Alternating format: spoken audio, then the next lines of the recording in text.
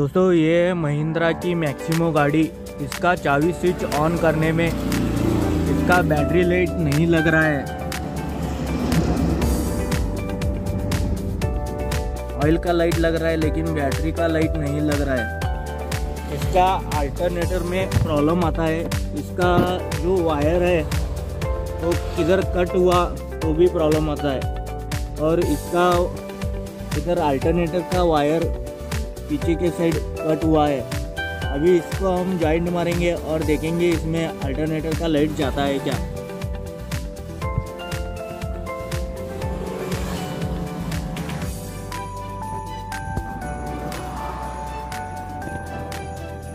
इस तरह से हम इसको वायर बटाएँगे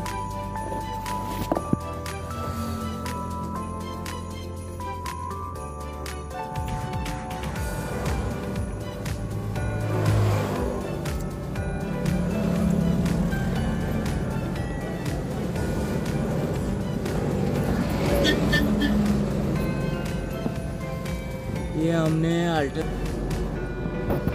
ये हमने अल्टरनेटर की वायर बटाया हुआ है और इसका जो बैटरी लाइट है,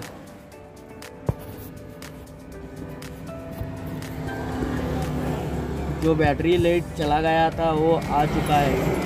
ये देखिए दोस्तों। तो इसके ये जो अल्टरनेटर का लाइट नहीं लगता है तो इसका बैटरी चार्जिंग को प्रॉब्लम आता है। तो आपको ये चेक करना है वायर कहाँ कट तो है कि नहीं। Thanks for watching